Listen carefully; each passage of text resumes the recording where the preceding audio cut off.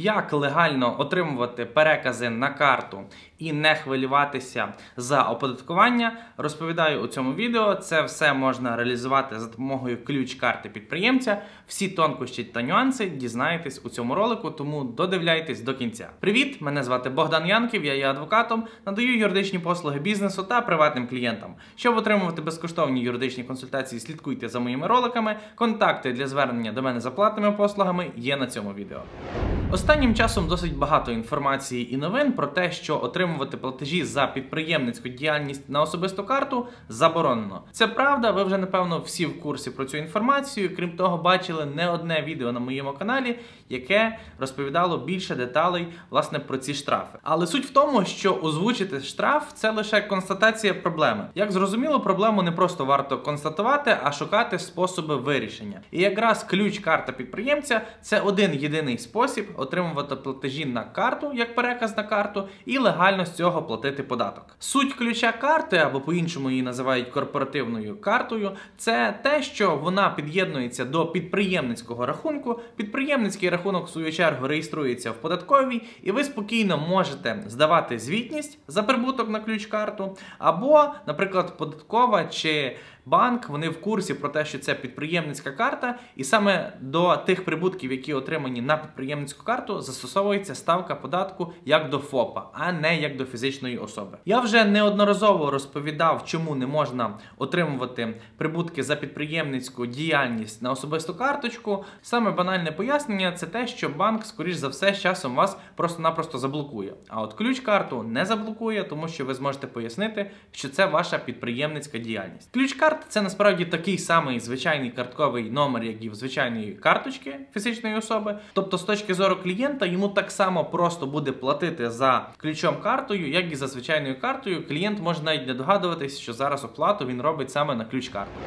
Але справа в тому, що ключ-карта має свої певні нюанси використання, які вам потрібно знати ще до того, коли ви почнете використовувати цю ключ-карту. Самим базовим і принциповим питанням є дотримання вимог закону про касовий апарат. Якщо ви отримуєте оплати на ключ-карту від клієнтів, то в більшості податкова вважає ключ-карту саме розрахунковою операцією. А якщо це розрахункова операція, то відповідно потрібно касовий апарат. Проте є певні нюанси, коли звичайно і не потрібно навіть при отриманні оплати на ключ-карту, касовий апарат. І ці нюанси я вже розповідав у численних своїх відео. Запрошую вас його переглянути за посиланням в підкасті, щоб ви були в курсі. Після того, коли ви врахували всі нюанси використання ключа карти, можна перейти до повсякденних правил буденного використання цього ключа карти або корпоративної карти. Що треба врахувати? Ключ карту ви можете використовувати як на отримання виплат, так і на здійснення виплат, тобто можете з неї платити. Так само із ключа карти можна знімати гроші як в банкоматі, так і в касі банку. По суті, спектр використання карти ключ такий самий, як і звичайної карти. Але на кожному із способів використання карти ключ є свої нюанси. Наприклад, коли ви отримуєте платежі на карту ключ з інших банків, ніж там, де у вас відкрита ключ-карта, автоматичний банківський ліміт встановлено, і всі платежі, які отримані понад 30 тисяч гривень в місяць, будуть відхилятися банком. Тобто маємо, наприклад, таку ситуацію: вам заплатили раз 5 тисяч, два 5 тисяч, потім 20 тисяч. Разом це оплата 30 тисяч гривень гривень. Якщо ці оплати були з різних банків, а не з вашого банку, і вам буде ще якийсь додатковий платіж надходити, то цей платіж, навіть якщо він буде 1 гривня, він перелімічує 30 тисяч, банк його автоматично відхилить,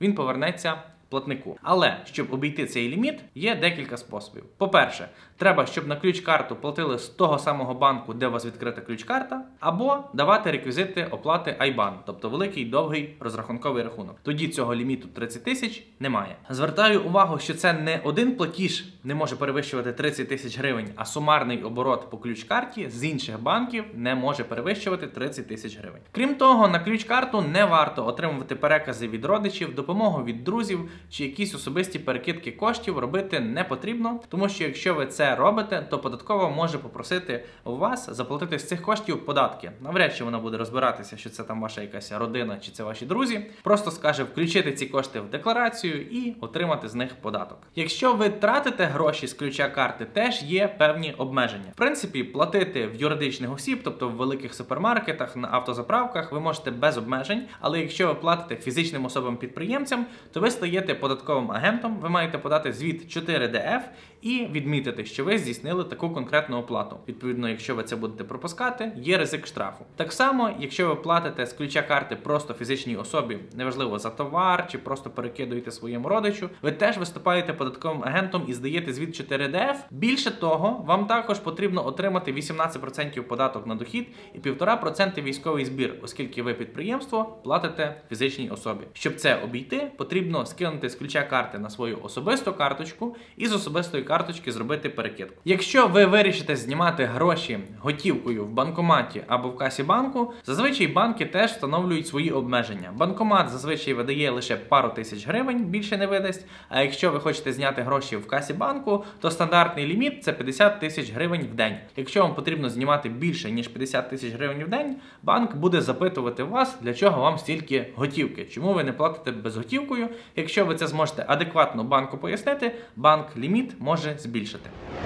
Крім того, досить типове питання це чи можна з ключа карти платити за кордон. Наприклад, купити якісь товари для себе на Аліекспресі чи на Амазоні якесь замовлення зробити і в тому подібних інших інтернет-магазинах. Ні, з ключа карти ви це робити не можете, оскільки ключ-карта це гривневий рахунок. Вам на підприємця треба закупити валюту в банку, і тоді можна буде робити оплати. Але знову ж таки, якщо ви закупили валюту, для того, щоб закупити валюту, треба підтвердити, для чого вам ця валюта, тобто мати якийсь договір з постачальником з-за кордону, кому ви будете робити оплату за цю валюту. Просто так валюту вам ніхто не дасть.